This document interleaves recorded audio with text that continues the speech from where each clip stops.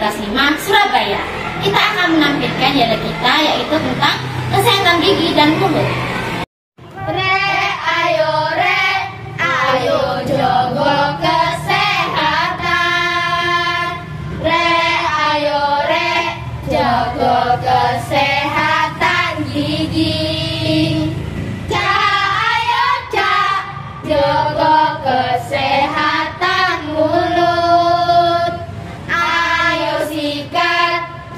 Dua kali sehari.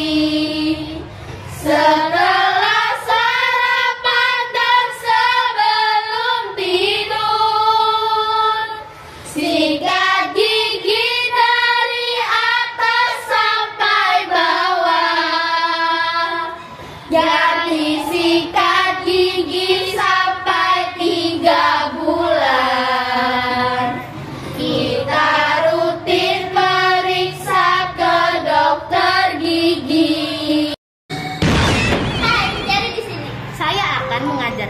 cara yang mudah untuk untuk menjaga kesehatan gigi dan mulut. Audio Jungle. Satu, jangan sikat gigi terlalu keras.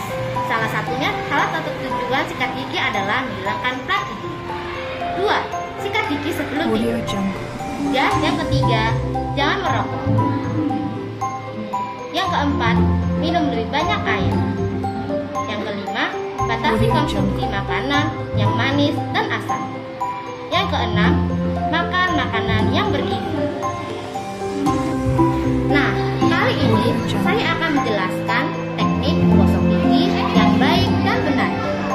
Yang pertama, usahakan posisi sikat gigi berada dalam sudut 45 derajat menghadap sisi. Yang kedua, gerakan sikat gigi ke depan dan ke belakang secara perlahan. Yang ketiga, bersihkan bagian luar, dalam, dan permukaan gigi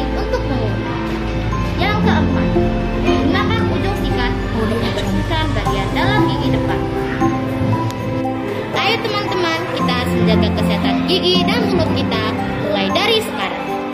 Audio Jungle.